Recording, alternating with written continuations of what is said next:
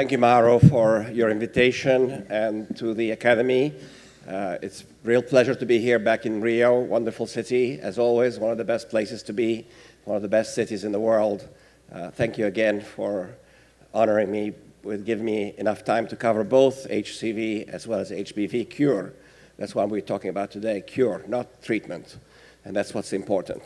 So I work at Emory University. I'm a professor there. I've been there for 39 years. And I'll try and go slowly for the, try and go slowly. I'm not, I usually speak very fast for the, so that the translator can, uh, can do her job. Or, so if I go too fast, just uh, wave at me. Uh, okay, so what you can see on the slide actually is my building. Uh, that's what happens when you're successful. You can buy your own building, and that's what I've done.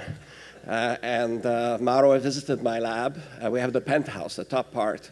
It's a $90 million building uh, at Emory University, and we spent a lot of time on the top floor discovering, developing new drugs for many infectious diseases. In particular, now, of course, with emerging viruses like Zika and other, other nasty viruses that affect human beings. Uh, so I'm going to cover today, uh, because I've been asked to talk about how we discovered actually sofosbuvir. And I'm not going to spend too much time on the potency of the drug and the effectiveness of the drug because I think everybody knows it's pretty effective. And give you a bit of historical perspective and then move on to hepatitis B because I think this is the next challenge uh, for everybody. There's more than 450 million people infected with hepatitis B uh, globally. It's much more than HIV, HIV and HCV combined. So this is, I think, the new frontier and where we need to be today is to find a cure for hepatitis B virus, and I'll talk about that too.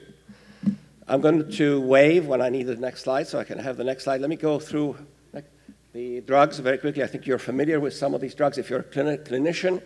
If not, you've heard about them in the newspaper. Uh, some of the five fundamental drugs are at the top. Uh, you can see D4T, stavudine, 3TC, lamivudine, FTC, which is uh, used in many, many combinations today. Telbivudine is also was a drug that I was in, involved in, invented. And of course, sofosbuvir, which is probably the most famous one because not only does it treat, but it also cures. And from these drugs, sons and daughters, came about because, as you know, with antiviral agents, you can get resistance, so, and sometimes the potency is not enough, so you have to combine them. So a number of drugs with funny names like Epzicom, uh, and so on have come out, and they are now used widely uh, by many patients who are infected with both HIV, uh, with HIV, HBV, or HCV, and in some cases, actually, some people have all three viruses in them. So you have to be careful how you dose these, uh, these, uh, these drugs. In fact, uh, it's been recently reported, for example, that people who take HCV drugs have to be careful because they can get reactivation of hepatitis B virus, and therefore you need to monitor that. So we are really, although I'm a PhD, I'm an interface of biology and medicine, and uh, as you'll see, I even design my clinical trials. Next slide.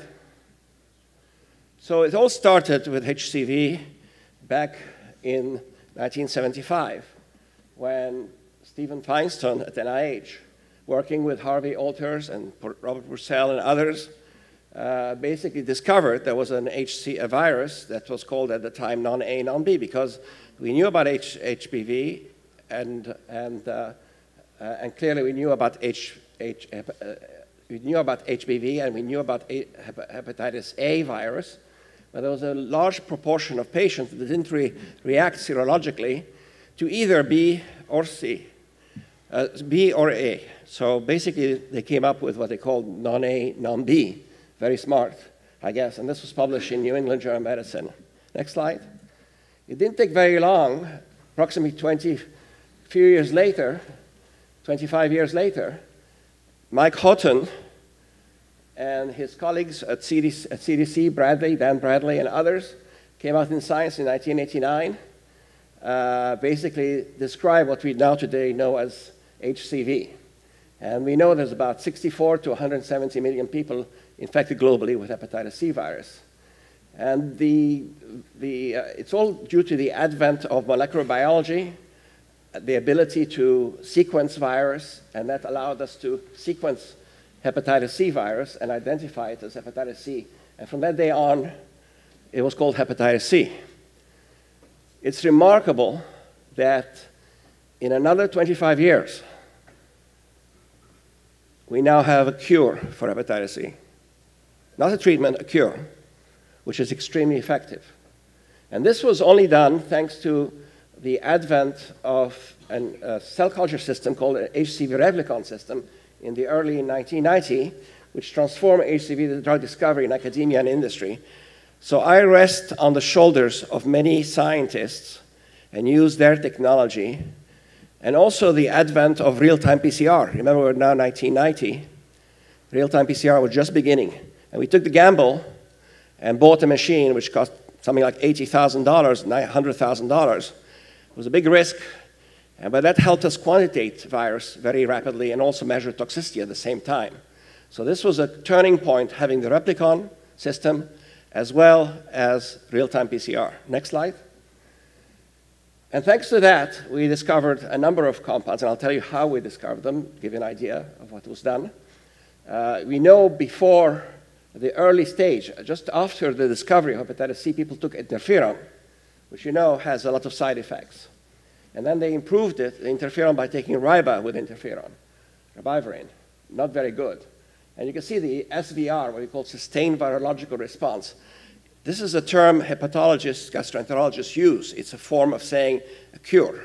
But they don't dare say the word cure, but it is a cure. And they usually measure sustained virological response, say, at four weeks, at six weeks, at 12 weeks. And the standard for a cure is 12 weeks. So that's the lingo that they use, the language that they use. So you can see what happened in 2011. You now have the advent of boceprevir, and tenofovir. These are protease inhibitor, very potent, but of course a lot of side effects, and the SVR increased to the 67 to 75% range.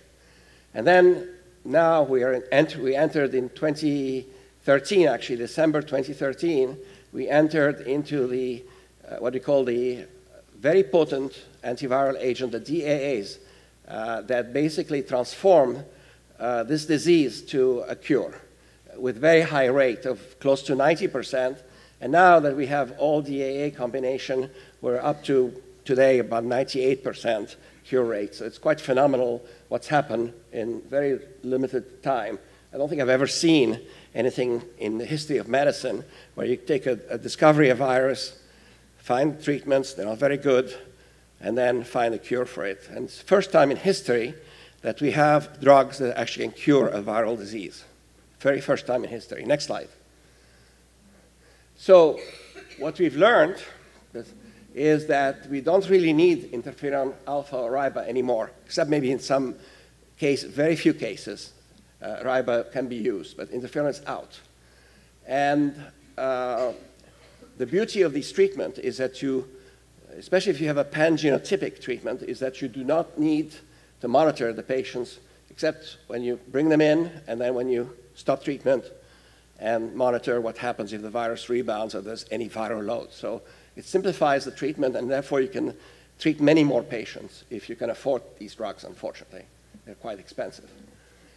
Uh, contraindication to treatment are relatively rare, but remaining challenges, especially when you have cirrhosis. Uh, F4 cirrhosis, you need more powerful drugs and longer treatment sometimes. And reinfection following HCV cure is also important. Therefore, we heard yesterday about vaccines. I still believe that we need a vaccine for hepatitis C virus because once we cure these people, we need to vaccinate them so they never get infected again, especially among drug, drug abusers. I think, and this is where I'd like to make stress, and my talk is going to focus on that today, short duration is definitely advantageous in the real world. Uh, many studies have come out that shorter duration of treatment is beneficial to the patients and they're not exposed to drugs unnecessarily. And obviously, it would also decrease the cost because you don't have to treat for 12 weeks. I think a lot of the patients who are treated today with the drugs that we have are overtreated. And the 12 weeks, by the way, is all arbitrary. It was not really uh, based on science. Uh, so I can go into that in more detail.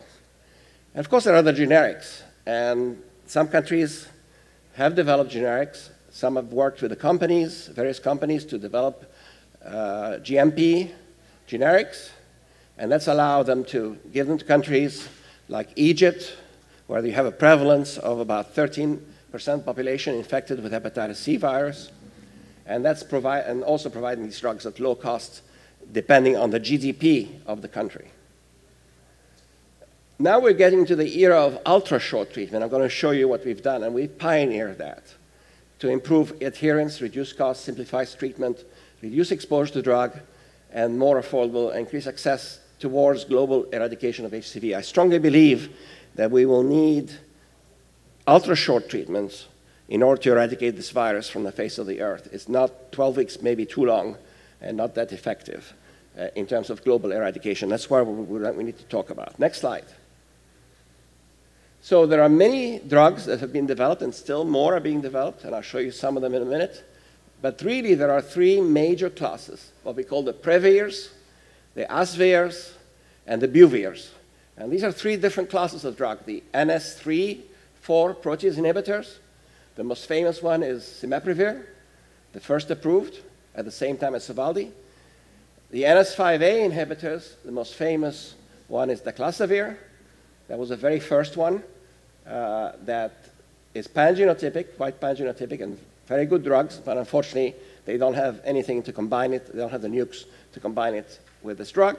But there are many other drugs that now pangenotypic, which are NS5A inhibitor. And that's a huge discovery by the people at Bristol Myers uh, Squibb, and I give them credit for discovering this class of compounds, which was totally unexpected. Of course, the NS5B is where I focus on because I'm a nucleoside chemist and biologist. And sofosbuvir was the most famous one, but there are others in development. Uh, I also was involved with Idenix Pharmaceutical, the IDX compound, which eventually the drug, the, the company was sold to Merck. But there are other companies involved, like Achillion and also J&J, that are involved in development of nucleosides, polymerase inhibitors. But there's only one today that's been approved by the FDA. There are many other opportunities to target hepatitis C virus, and I mentioned some of them at the top there in yellow, but really these are way behind, especially with the advent of such potent and pangenotypic compounds that we'll hear, talk about in a few minutes. Next slide, please. So this is roughly the history in terms of approval uh, of these drugs. I'm not going to go into details. What I would like to say is that finally, in April of this year, uh, Harvoni, which is a combination of two drugs, sofosbuvir plus ledipasvir, was actually approved in children. I think that's a big, big improvement. And being imposed in children who are basically neglected. And there's quite a few children who are infected with hepatitis C because we've now shown definitively that virus can be transmitted from the mother to the child. So we have an opportunity to now cure these children very early on. And of course, the quality of life for these children that are going to live maybe 60 years or 50 years, they benefit immensely by treating them early. And that's why I think it's important to have uh, drugs available for children, not just the adults, and not just the very sick. Nucleoside analogs are the best in class because they have high potency, remarkable potency. We can get up to five log drop in virus. I wish we had nucleoside for HIV that gave you five log drop. You don't see that. They're pangenotypic, work against all six genotypes. They have high barrier to resistance. In fact, you can select in the lab resistant virus to drugs like sofosbuvir, but in the clinic, the virus is very debilitated. You do have a signature mutation. It's a S282T, and that mutation is very, very rare. And as I mentioned, the virus is uh, not fit, not very fit, not very fit. So you basically go back and you um, um, the virus goes back to wild type very quickly. And what we want, of course, is low, uh, low pill burden and the drug being orally bioavailable. Next slide. So this is basically the characteristics when you try to discover drug for not just for H HCV, but also for HIV or any other, other uh, virus infection. You need to obviously look at the potency of the drug, the resistance profile, the efficacy against different clades or pan genotypes, having pan genotype, pangenotypic efficacy. You have to look at adverse events. Obviously, you want a very safe drug. And also, you need to look at drug-drug interaction. This is actually quite important because a lot of these people, are, as I mentioned, are co-infected. So you may get drug-drug interaction. What you want is basically all green, which means a good profile. And for nucleosides, we've achieved that very quickly. But the other drugs, as time goes on now, we have second generation NS5A, and you can see a bit more green, a bit more yellow. And also, very recently, and I mentioned one of the compounds a bit later in my talk, we have now uh, uh, NS5B non-nucleosides inhibitor that have very favorable profile for the first time. And that's really quite exciting because these drugs can now be used for salvage therapy or for triple or quadruple combination chemotherapy. Next slide. So the ultimate goal, of course, we, we can do all these things, but the ultimate goal is to increase the lifespan and quality of life of the people infected with hepatitis C virus. Next slide. Now I'm going to talk briefly about how we discovered sofosbuvir. Now, it wasn't easy, it wasn't trivial. I mentioned we need to invest in real-time PCR. We need to have a library of compounds. Uh, and we were fortunate to have a library at the time. And very early on, we discovered that a compound called, it's like a nucleoside, it's like cytosine, but it's got a 2' fluoro moiety at the 2' position. So the 2' position is a fluorine, as you can see. And that compound, we published on it back in 2004 and demonstrated that it had antiviral activity. Uh, we were surprised, and that obviously gave us the idea of looking at multiplication at 2' prime position. We looked at drugs like gemcitabine, and that also has antiviral activity, but as you know, it's an anti-cancer agent. It's not a terribly toxic compound, but nevertheless, you know, it can reduce viral load, but not very efficiently. So it did demonstrate that these dihalogenated compounds had anti-HCV activity.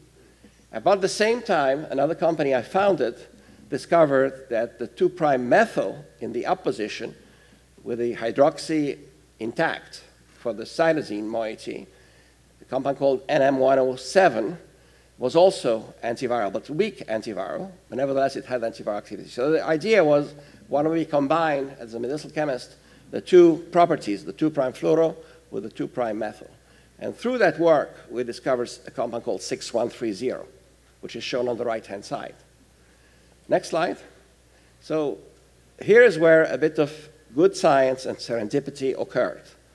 When you study the cellular pharmacology of this compound, you get radiolabel or use mass spectrometry, look at, uh, pulse the compound in cells, liver cells, and you can see the phosphorylation to the monophosphate, diphosphate, and triphosphate. And when you look at the triphosphate, you can measure the affinity for the polymerase, the HCV polymerase, and also measure the half-life of the drug intracellularly. And 6130 had a Ki of about 0.05 and a half-life of only five hours. Now, when we did monkey studies, actually I did monkey studies at Emory, we discovered that the compound, 6130, was rapidly deaminated to the uracil analog, which was essentially inactive with an EC90 of greater than 100 micromolar. So we were worried about that because we said, wow, well, if this happens in humans, we will not have a good drug. 6130 will not be a good drug. Fortunately, there's differences between mammalian, different mammalian uh, cytidine, dia cytidine deaminases, which is the enzyme responsible for the deamination of the C compound to the U compound.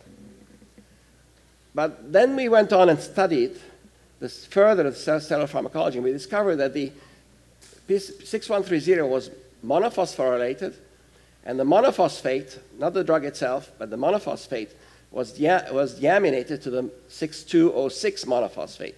And that was further phosphorylated. And the triphosphate had a Ki not as effective, not as good as 6130, but it has a very long half-life. So that's where the eureka, mo uh, eureka moment occurred.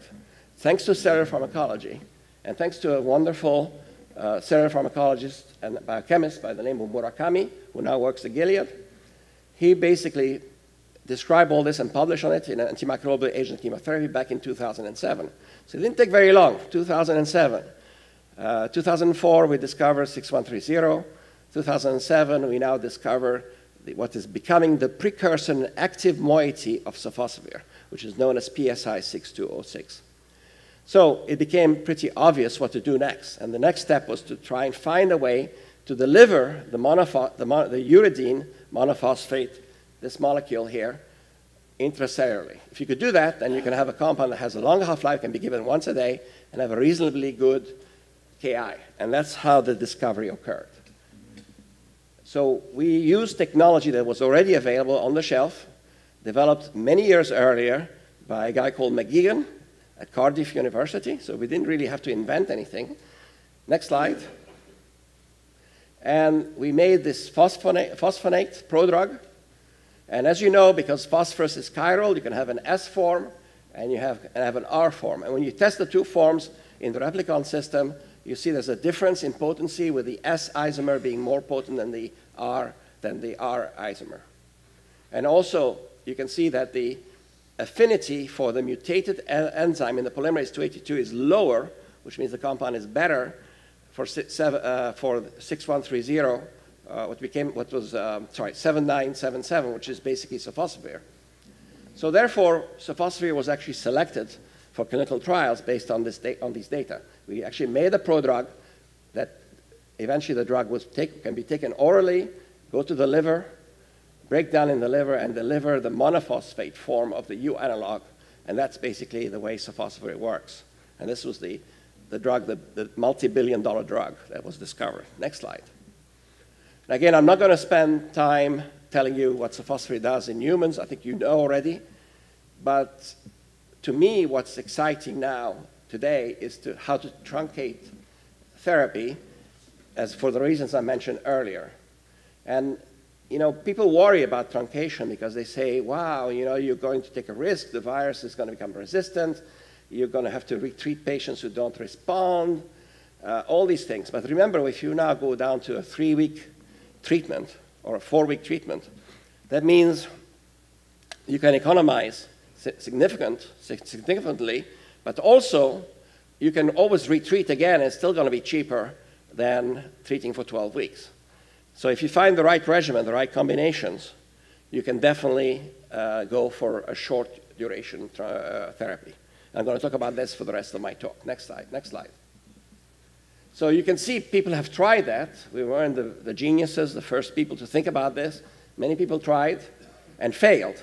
When they went down to four weeks, you can see the SVR is down very low, to about 27% SVR at, at, week, at week 12. If you go six weeks, you can do it. The SVR is about 93%, depending what drugs you take.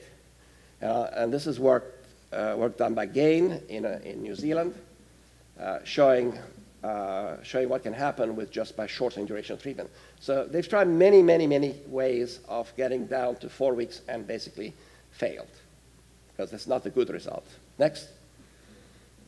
So we decided, because nobody else seems to want to do these studies, this is an academic center coupling with a group in Hong Kong George Lau, who's a gastroenterologist, one of the best in China, we decided to try a, combina- a study, which we call SUDAPI, which was published last year in Lancet Gastrohepatology. And the reason why we selected this, uh, the genotype 1b, we didn't have many choices because most of the people in China have this genotype. About 5.7 million reported, reportedly have uh, this genotype. And the current recommendation is pan-oral DAA. In fact, only recently, for 12 weeks, only recently did the DAAs become available, only last, I think last week or the week before, in China, the limited number, soft, uh, SOFDAC, but soft is not yet approved. So they're using still interferon with, DA, with a DAA. And this is the problem. So we decided to try not just four weeks, we decided to go three weeks. Next slide. So here's the setup that we did. We divided uh, 26 Chinese naive genotype 1 subjects into three groups. And we measured what we call rapid virological response. And it's actually super rapid. It's at day two. We measured if they had less than 500 international units per ml of virus, we, continue, we continued the treatment for three weeks and stopped. If they didn't have less than 500 uh, international units per ml, we just gave them the full course, the 12-week course. So of, and we divided the subject into three groups. Soft, lidipasvir, isoniprevir, soft, daclazivir, cimaprevir, sofdaclacivir, isonabrivir. By the way, this is all done blindly. All subjects actually followed, achieved SVR 12 after three weeks of treatment. Un very, very unusual. Including those that took, the, just for three weeks, we were able to get 100% cure rates using these particular therapies, using the, what we call response-guided therapy. And as I mentioned, this was not funded by pharma, this was funded by academic centers entirely because nobody wanted to take the risk to do the study, and we did it and demonstrate to the world that it is possible to shorten duration treatment, particularly in the 1B patients. Next slide. This actually showed you the viral kinetics, and this basically destroyed all the ideas that people had about virus kinetics for HCV previously, work by, done by Perelson and others. All wrong. Everything's wrong. And the reason is they didn't take into, into account the immune, intact immune system in these people. So the immune system actually works with you and the drug. And you can see the best combination was the one with the blue triangles, was basically Sofdac Sim. And um, you can see the, the codes, but they all by, by week two, two of the group had achieved 100% SVR. By week three, 100% had achieved SVR. And at obviously at 12 weeks, we also got 100% SVR. So it was a bit boring. We got cured everybody. And this was a pilot study, but clearly it opens the opportunity to look at other, other combinations and even perhaps go down to two weeks and maybe even one week. Next slide. So as I mentioned, there are many studies that have been tried for shorter duration treatment. Most of them have tried six weeks.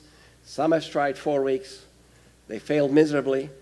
The best one is the one, our paper demonstrated that we can do it because the problem is that these companies use what I call incestuous combinations, meaning they are using their own drugs rather than you combining the best drugs from different companies.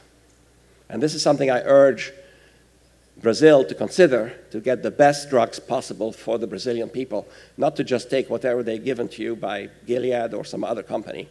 You should uh, even make your own formulation if you have to. Next slide. So we now have options. Again, we want to shorten even further.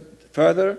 We can use pangenotypic NS5B nukes, which we have, pangenotypic NS5A, which we have, and most recently we have pangenotypic NS5B and an I, and I'll show you that.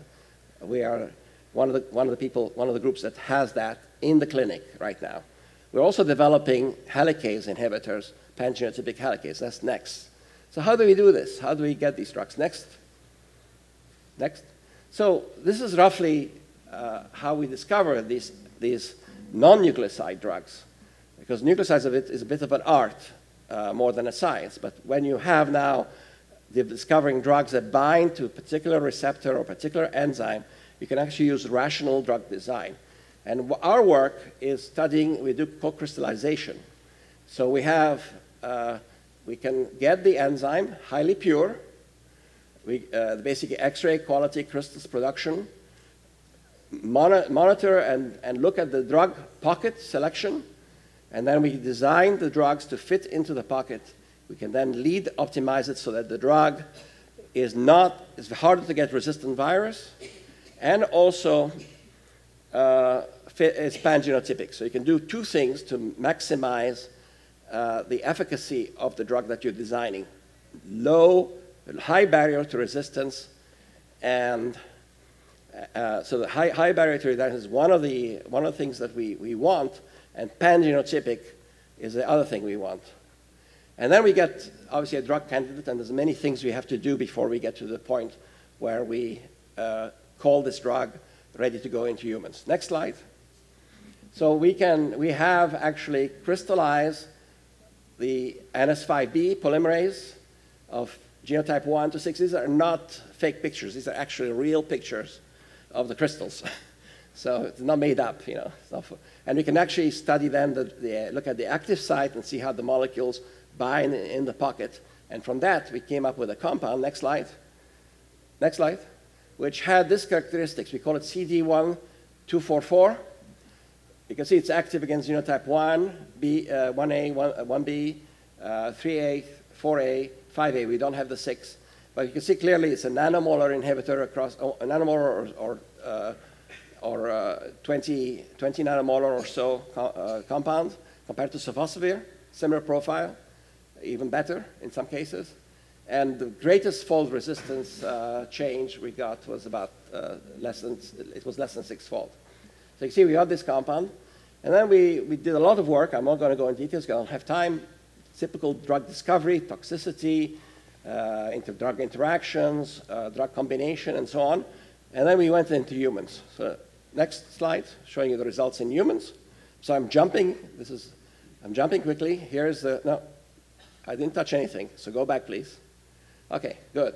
So this is actually the human study. We selected other doses. I'm showing you just the 200 and the 400 milligrams. One is 200 milligrams BID twice a day and 400 milligrams QD. And you can see the profound antiviral effect this NNI, it's not a nucleoside, has. We were totally surprised by the results we got.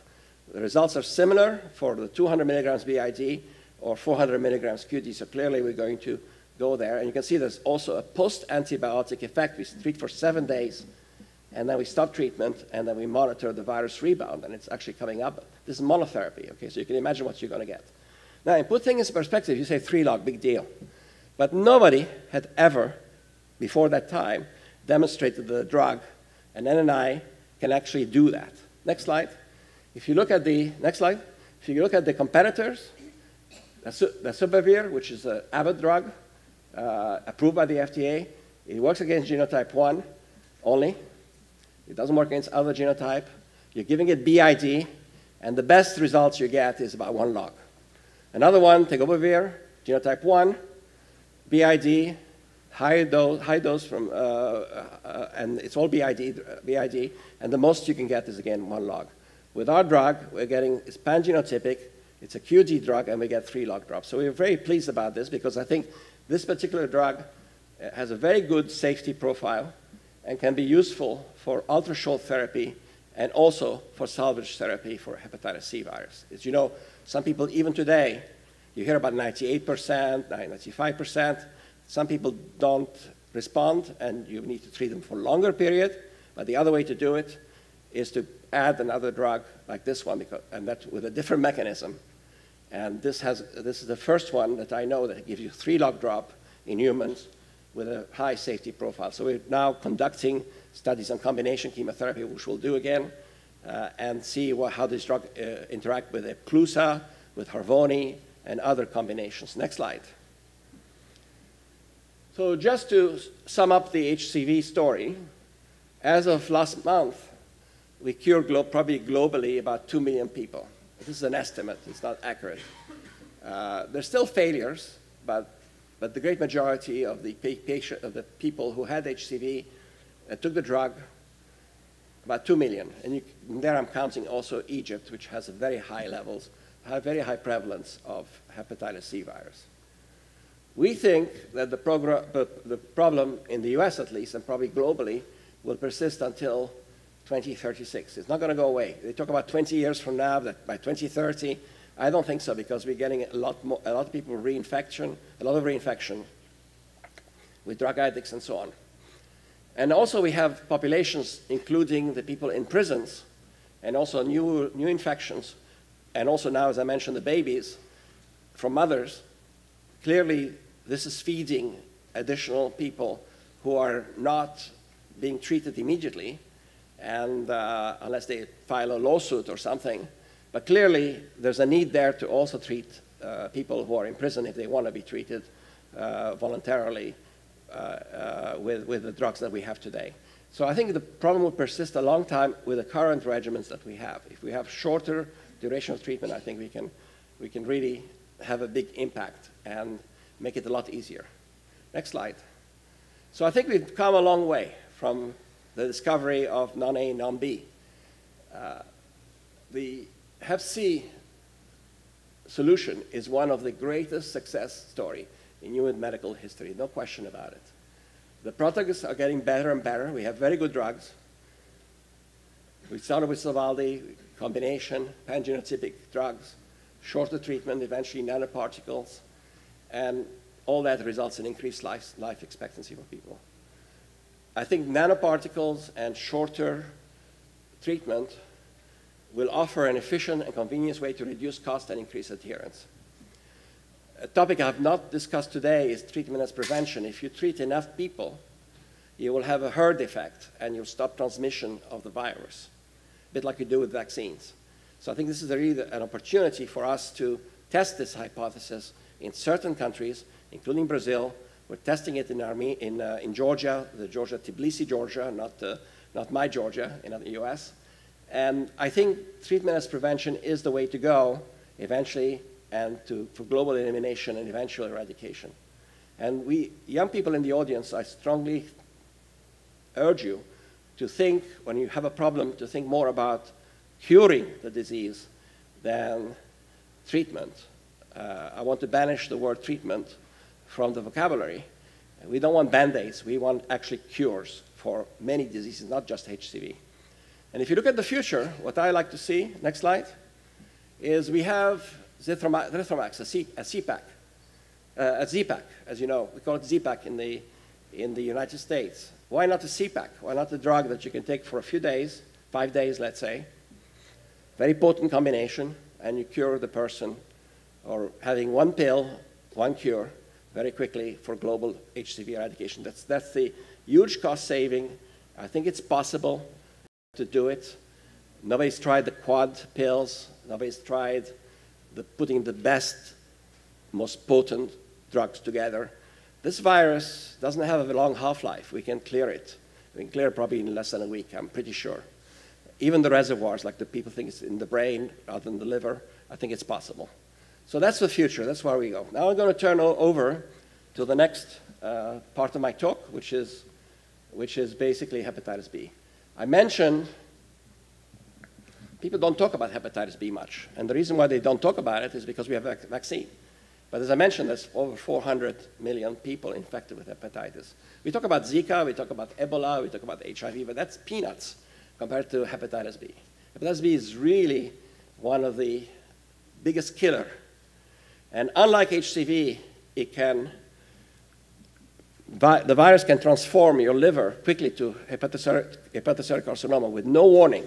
You don't have the fibrosis F1, F2, F3, F4. You can get that, but usually it just goes straight to cancer, and you can need a liver transplant. So there is a, there is a need for curing this disease. Next slide. So if I look at the world, you can see where the high prevalence are. Of course, Africa is high. Uh, United States not that big, not that big, but China is also a big, a big country where there's a big high prevalence. There are drugs available. Some of them I invented, but they have to be given for life. And if you stop treatment, the virus rebounds and can kill you. And I mentioned 400 million estimate to be chronically infected worldwide. And what's interesting is two-thirds of the cases are in poor and developing countries, including Brazil. So even on existing therapy, infected individuals can develop chronic liver disease, liver cirrhosis, and hepatocellular carcinoma, which is deadly and requires liver transplant, which is very costly, as you know. So this is where we are today. So we embarked on trying to find a cure for hepatitis C. Next slide. So is HPV eradication possible? Ten years ago, people thought I was crazy, but it's possible. And next, next. But there's an American science fiction writer who said everything is theoretically impossible until done. And that's, that's an important point. And the French have a saying, impossible n'est pas français, which means impossible is not French. Maybe you can say Brazilian too, because Brazilians are bold people. They, they, they try the impossible. Uh, so clearly, I think it is possible, but we, we still have to probe and see and do good science and drive this process until we have a cure. Next slide. So I'm not going to go into great details about the replication cycle of hepatitis B. The virus gets in, gets into the nucleus. You have, to, you have all these things happening. Uh, what you need to know is there is a, a major reservoir of hepatitis B in the cells. It's actually in the nucleus. And it's called cccDNA. It has a very long half-life. You can see it here. This little thing, squiggly, colorful thing here. It's called cccDNA. So that's the reservoir for the virus, putting it very simply. I know a lot of you are not scientists in the audience, so put it very simply. And it's not affected by nukes. All the drugs that are currently available doesn't have any impact. The only one that has an impact possibly is interferon, but only you have to treat for a whole year, and you, maybe you get between 1 and 5% of the patients will clear the virus, clear surface antigen, clear e antigen, and so on. The problem with the cccDNA, it's a way, it's a Xerox machine. It actually replenishes the, the DNA in the cells and also make new particles. There's also another problem with hepatitis B, and that is the integrated uh, uh, virus. So you got part of the virus integrated in the human genome, like HIV. That makes it a bit more difficult, but people believe that the, the virus that's integrated is archival. It doesn't come back. It doesn't come out like HIV. So there's a bit debate about this, but you still can produce surface antigen from, from this archival DNA. So that's a big debate right now. That if we, if we believe that there is a problem there in terms of integration, and the virus can be made from integrated HPV, we're, we're really in trouble. It's going to be very difficult. But I think, I think most of the science leads to the point that this virus, once integrated, doesn't come out. So it's archival. And there are very few therapies that will impact cccDNA. I mentioned only, only uh, uh, interferon. Just have capsids. It's not the coating. If you disrupt that, you open up the, everything that's inside it to the elements, enzymes, and so on, and you get destruction. There's another class of drugs called sulfonyl carboxamide, the HAP compounds. They're all known. Uh, the most potent compound to date that's actually in clinical trials is GLS4, which was discovered by a Chinese group. And we work with them to advance this compound forward towards the clinic. Next slide. And you can look at the effect, the impact of these drugs like GLS4 on cccDNA. You can actually measure cccDNA. Of course, you don't want to confuse the cccDNA with the, with the uh, viral uh, DNA. So you have to eliminate the viral, the viral and measure just cccDNA. You can see the impact. There is an impact in terms of log reduction of cccDNA in cells treated with GLS4. Next slide.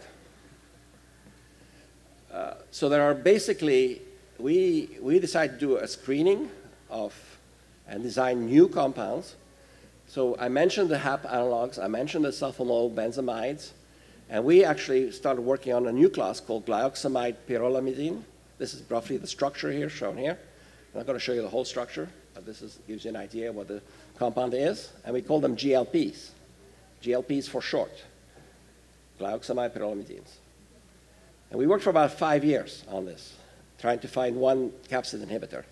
And next slide, out of the 300 or so compounds, we found one called GLP26 that was active at 3 nanomolar in culture and no toxicity. And you can see the therapeutic index is very high. And this compound was significantly more potent than the preceding compounds. This 3TC, the drug I invented, HAP12 and GLS4, you can see it's much more potent in culture. So that's great, but so what? Does it have any impact on capsid? Does it work like a capsid inhibitor? That's the next question. Or it's just pure luck. It just affects the DNA or something else. Next slide. So there's a marker for cccDNA, and that is the E antigen. So you can measure E antigen in cells. And you can see if you measure the drug, like 3TC, which is a nucleoside analog, you don't see much of an impact on HBE antigen secretion inhibition. GLS4, you see an impact, with dose response. HAP12, you see a response, and with a new compound. And when you calculate the EC50, you find it's almost ident it's identical to what you see in culture. It's about 3 nanomolar. So you have a 3 nanomolar inhibitor of capsid inhibition based on this, on this data. So we have data looking at the amount of cccDNA produced, but also e antigen production. Okay, so that's very nice. But show me, show me how it's working. Show me that it's actually doing something on the capsid. Next slide. Next. So we did some studies. So we take the HBV capsid, 149, and we incubate it with a drug. This is a high concentration nevertheless, but we wanted to see first what happens. Uh, and then we induce assembly of the virion by adding salt, high concentration of salt, and you get the nice, the nice capsid formation. And then you can take this and go in the electron microscope, and this is just the vehicle alone with a diameter of 30 nanometers. With GLS4, You get misassembly and hollow spheres. You can see them here. They're all hollow. And diameters between 80 and 100. And then with our compound, you can see that we have even smaller particle formed, incomplete hollow spheres, low abundance, and we have a diameter of less than 20 nanomolars. If you don't believe me, let's go to the next slide. Next slide. You can see now what, we, what I saw, the broken capsid. It's very dramatic. You can see that very clearly what happens with GLS4 uh, as an example. And we can measure, we can actually see and quantitate all this if we wish to. Next slide. I have a lot more data. This is now what happens with GLP26. Not as dramatic, not the broken eggshell, but the particles are definitely smaller, as you can see. So we, we really believe that this compound does work as a capsid inhibitor. I don't know who's caught talking there, but anyway. Next slide. So I'm going to go through, this is probably my almost last slide. Uh, what we've demonstrated is that GLP26 inhibits HBV DNA like the nucleosides, but also HBS antigen secretion and cccDNA amplification at nanomolar concentration with no apparent toxicity. It interferes with capsid formation, as I just showed you. And what I didn't show you is not only does it prevent, uh, it breaks down the capsid, but also it, it prevents the assembly of the capsid. So you have the assembly, and you have also, I have data for that as well. So it's two mechanisms by which these compounds work. We have a long stability in dogs and human plasma, good liver microsomal stability. We have synergistic activity with entecavir, so ideally you want to block two pathways uh, to, to, completely eradicate uh, hepatitis B. Uh, we have uh, amazing, these compounds are highly orally bioavailable, close to 100% orally bioavailable in, uh, in mice. We have not, not done any other, any other uh, species yet. And uh, the activity has actually been demonstrated in a chimeric humanized liver mice system, actually working with people at Pasteur Institute. We showed up to 3.5 log drop decline, so actually the drug does work, and now we need to do more work. So we really have one of the most potent and selective HBV inhibitor of this class, in my opinion. So I'll, I'll stop here, but I'll go to the next slide. I think we're almost done. So I do believe more work. We will be able to eliminate HBV is possible, especially if academia works with public health, industry, regulatory agency, and the government. We have the tools. We need to have the willpower to make this a priority, to make it happen. And together we can really make a difference. So with that, I'm going to uh, say goodbye. Next slide. And thank my collaborators, particularly my group at Emory University, where I have quite a large uh, group of people my colleagues at Los Alamos and also at, uh, uh, at Humanity in Hong Kong. Dr. Rabi, who's in the audience, thank you, Dr. Rabi, for coming, uh, a microbiologist who helped us a lot with sofosbuvir in the early days. Dr. Hélène Strick-Marchand at Pasteur, and of course the team at Co-Crystal.